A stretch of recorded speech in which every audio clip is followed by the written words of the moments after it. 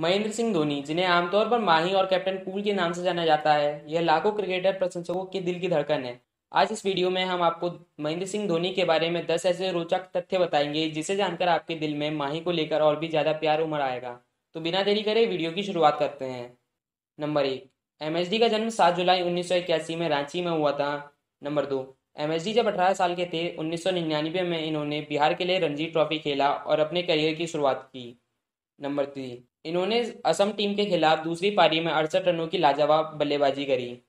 Number चार, फोरेब्स के अनुसार एमएसडी की कुल संपत्ति 30 मिलियन डॉलर है, जो मास्टर ब्लास्टर सचिन तेंदुलकर की कुल संपत्ति से भी ज़्यादा है।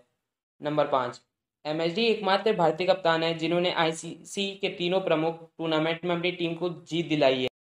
नंबर छः एमएसडी दो बार ICC player of the year award जीतने वाले इकलौते क्रिकेटर हैं। नंबर सात 2012 में स्पोर्ट्स प्रो ने एमएसडी को दुनिया के सोलहवें सबसे अधिक मार्केटेबल एथलीट के रूप में दर्जा दिया है।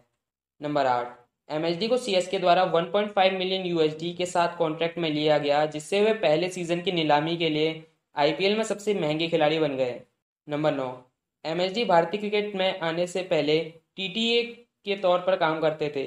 नंबर दस एमएसडी का ट्रेडमार्क हेलीकॉप्टर शॉट उनके दोस्त संतोष लाल ने सिखाया था। And the bonus point is MSD ने लेफ्टिनेंट कर्नल का खिताब 2011 में हासिल किया